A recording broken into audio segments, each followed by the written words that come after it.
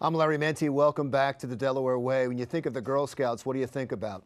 Cookies, right? They are much more than just that. Now to talk more about the Girl Scouts in Delaware, Ann Hogan, who is CEO of the Girl Scouts of the Chesapeake Bay, and also Ambassador Ava Gulino. Did I get it right? Yes.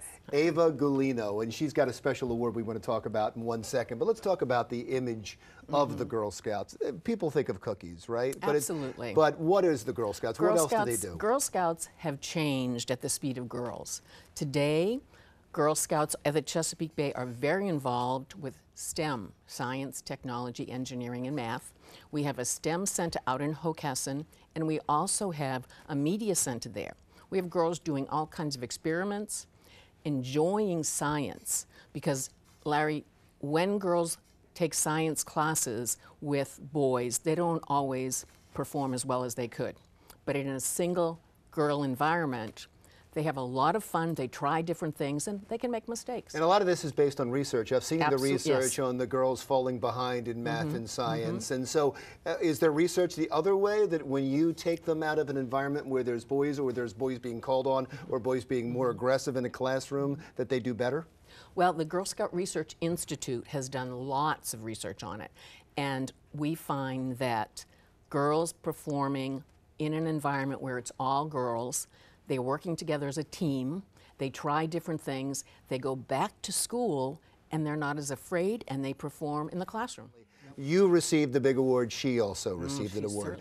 Uh, why don't you talk about the award first, and then we'll get it from Ava as Sure. well. Well, I'll let you. Ava will tell you all about it. But in Girl Scouting, there's three awards: the bronze, the silver, and gold. So juniors, cadets, and seniors. Gold is the highest award a girl can earn, and it's comparable to the Eagle Award.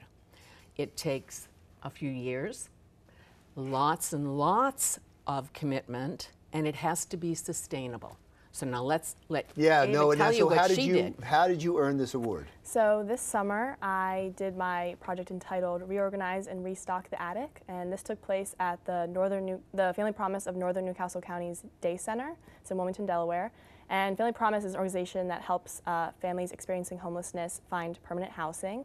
And so the attic is this space where um, they have household goods that families go and shop at, um, shop and get their stuff when they're ready to go into permanent housing. And the space was completely disorganized and cluttered. So my project was all about getting that revamped for them and making it a better space. So.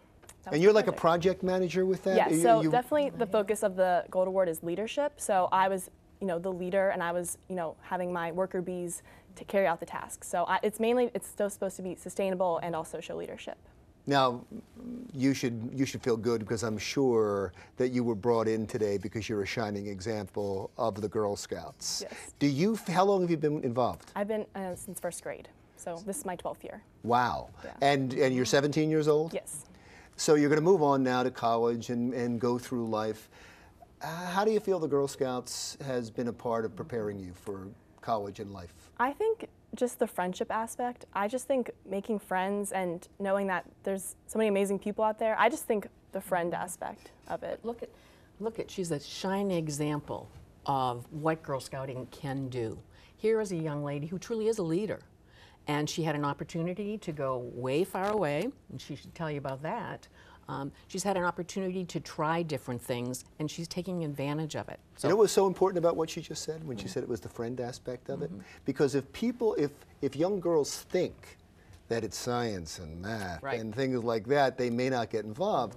But friendship, Mm-hmm. camaraderie, people going through the same experience, that will attract young girls to, to it, and then they'll learn all these skills you're talking Sure. about at the same the leadership time. comes with it, and the team building, et cetera, et Let's talk about your success now. We talked about Ava's success for a second. You got a brand new building. Almost, yes. How exciting. Yes, we will be moving into the Northern Resource Center in December. Very, very excited about that. We will own that building. A couple of other big important things this year. First, the Girl Scouts on the Delmarva Peninsula, which is the Girl Scouts of Chesapeake Bay. So we have the eastern shore of Maryland and the tip of Virginia. We next year, this year, are celebrating a hundredth anniversary. Girl Scouts have been on this peninsula a hundred years. Wow. Uh, Are they as popular as ever, the Girl Scouts? You know, there are so many things for girls today. I think we are popular because of the activities and the badge work that we can do. We don't have, you know, 25,000 girls, but we have a solid almost 10,000 girls. There's so many more activities girls can participate outside of Girl Scouting, so we focus on being the premier leadership organization for girls. And thank you so much. Thanks for coming in. Thank I really appreciate it. Thank you. Ann Hogan, the CEO of Girl Scouts of Chesapeake Bay, and also Ambassador Ava Gulino. Thank you. I really appreciate you both being here. When we come back, there is a one of a kind museum that deals with airplanes. And wait till you see the airplanes that we're talking about. It's only here in Delaware. You're not going to find it anywhere else. That's when we come back.